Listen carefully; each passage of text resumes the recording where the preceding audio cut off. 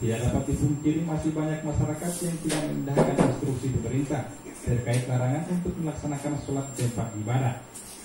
Di mana ini? yang melaksanakan sholat Selesai? Ambil itu. di wilayah kota Gorontalo.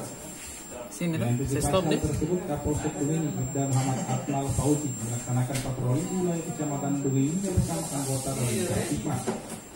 Selain melakukan patroli dengan berkeliling dari masjid ke masjid, Kapolsek Dumini dan personilnya menemui jemaah yang menunaikan ibadah di masjid. Yang memberikan pemahaman dan pendekatan secara persuasif. Di mana Kapolsek Saya mengajak para jemaah untuk bisa bersama-sama mencegah penyebaran corona, yaitu dengan melaksanakan anjuran pemerintah serta majelis ulama Indonesia.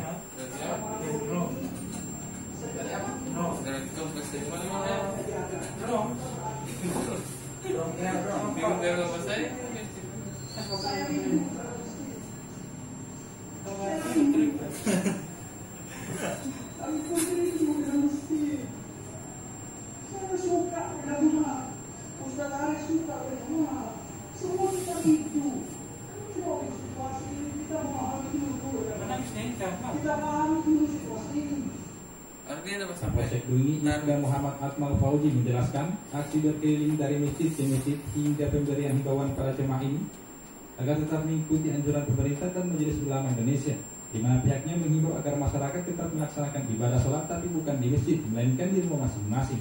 Melihat ada beberapa jemaah yang melaksanakan kegiatan sehingga kami terus menghimbau menyampaikan kepada takmirulnya menyampaikan kepada warganya.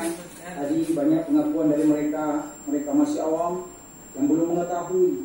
Sehingga kami terus menyampaikan nasihat-nasihat dengan pendekatan agama menyampaikan himbauan-himbauan untuk mari kita ati Allah wa